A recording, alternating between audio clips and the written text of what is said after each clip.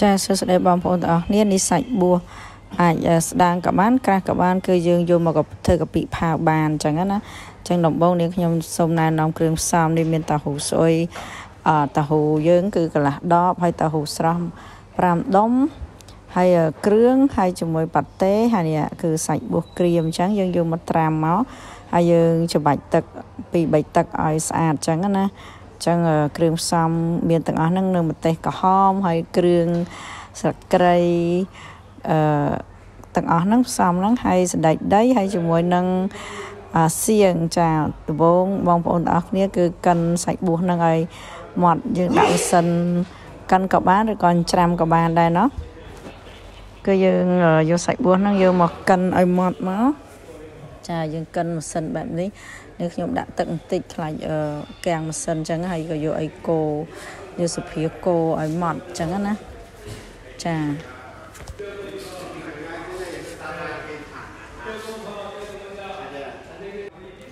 ចាយើងកិនបែបហ្នឹងយើងកិនឲ្យម៉ត់មកណោះ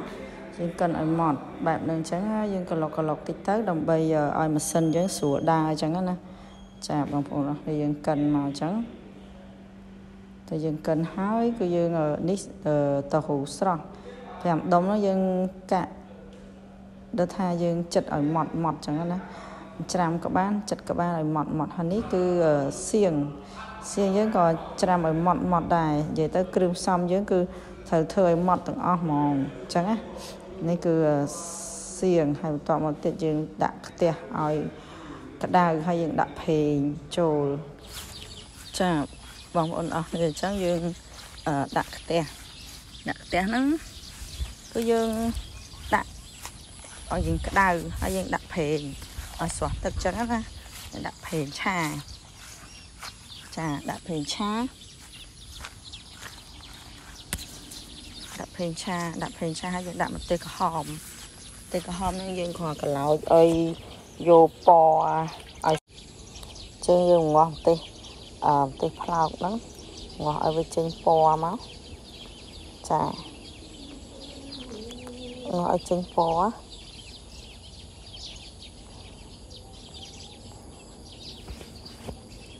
យើងងាស់ចឹងឲ្យចេញពណ៌បងប្អូនអស់គ្នា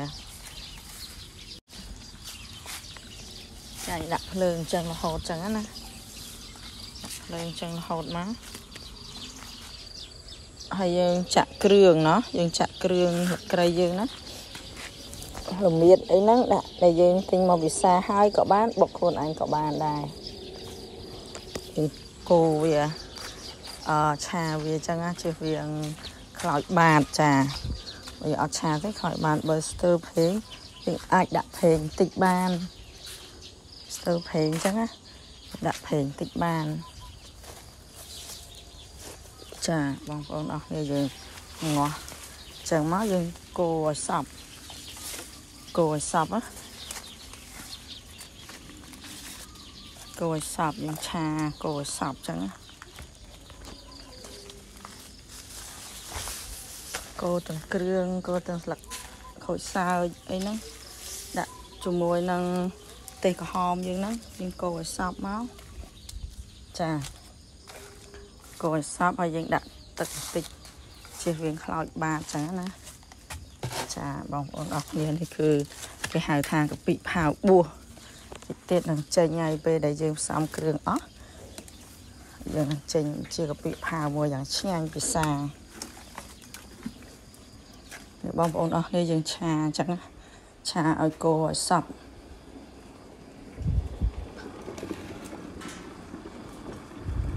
ចាយើងដាក់សៀងយើងដាក់សៀងដែលយើងច្រាំហើយហ្នឹងសៀងយើងយកទៅកិនក៏បានយកច្រាំក៏បានស៊ីសងបងប្អូនអស់គ្នាចំណងចំណងចិត្តបើចង់ចាបងប្អូនអស់គ្នាយើងដាក់តហ៊ូតហ៊ូដែលម៉ត់ម៉ត់ហ្នឹងជាមួយប៉ាតេហ្នឹងយើងដាក់ចូលទៅយើងកាយយើងឆាចូលគ្នាណាឆាចូលគ្នាមក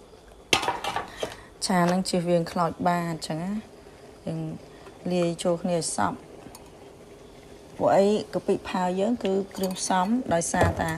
យើងរបស់ដែលយើងកិនដែលយើងច្រាំម៉ត់ម៉ត់ចូលគ្នាហ្នឹងណានេះគឺសាច់បួសដែលយើងបានកិនហ្នឹងយើងដាក់ចូលមកដែរអញ្ចឹងណាយើងលាយសពដែរយើងឆាលាយឲ្យសពឲ្យចូលជាតិអញ្ចឹងណា បងប្អូនអស់គ្នាកាពិផាវហ្នឹងគឺយើងមានគ្រឿងផ្សំមានស្លឹកគ្រៃមាន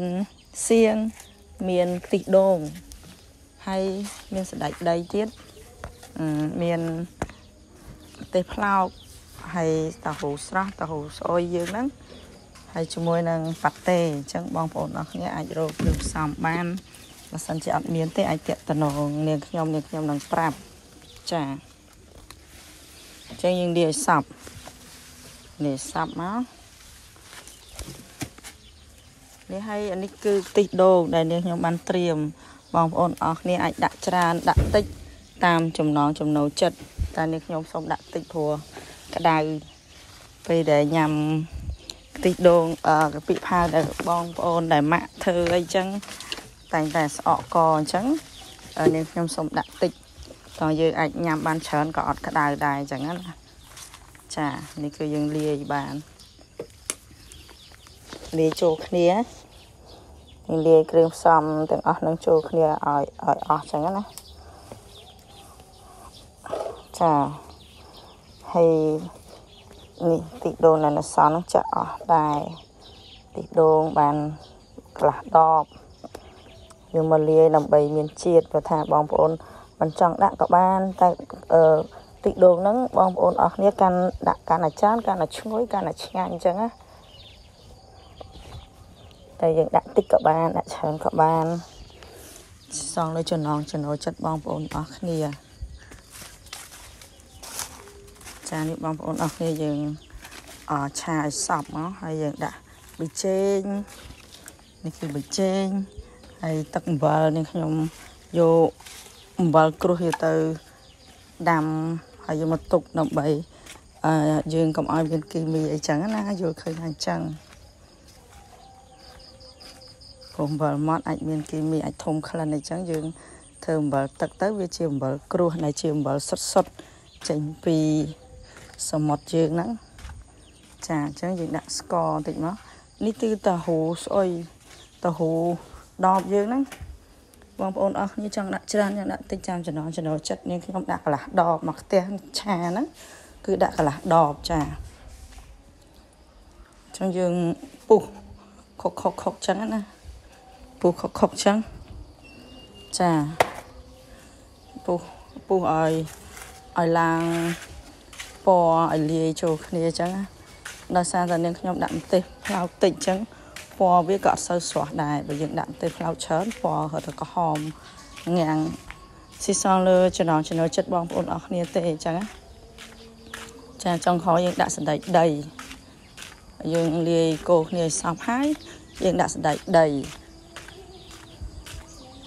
ចាបងប្អូនអស់គ្នាចង់មានទឹកទឹកតិចតិចយើងថែមទឹកទៅតាមចំណងចំណុចចិត្តចង់រាវចង់ខាប់យើងថែមទឹកតិចមកណោះ នេះបងប្អូនអស់គ្នាកពិផាយើងចេញរៀងចឹងហើយចាចិត្តចាប់ហើយចិត្តចាប់ហើយចិត្តបានហូបពេលយើងហើយយើងភ្លក់មើលរសជាតិប្រៃផ្អែមអតាមចំណងចំណងចិត្តបងប្អូនអស់គ្នាចង់ប្រៃចង់ផ្អែមនេះហើយហើយចឹងគួយញ៉ាំបានណោះកូនសំណប់ចិត្តពីរគួយញ៉ាំមើលទូទាស់ ឡើងឆ្ងាញ់ហ្មងចឹងចាប់ហើយចឹងបងប្អូនអស់គ្នាសង្ឃឹមថាអឺបងប្អូនអស់គ្នាអាចចេះធ្វើចេះធ្វើនៅម្ហូបទាំងអស់ហ្នឹងហើយយើងអាចដួសដាក់ចានដាក់ស្លឹកចេកតាមចំណងចំណូលចិត្តបងប្អូនអស់គ្នាដែលដែលចង់រៀបទុកដាក់អញ្ចឹងណាហើយបើគ្រឿងផ្សំมันអាចរកបានទេអាចតំណតំណងនាងខ្ញុំបានអរគុណច្រើនបាយបាយ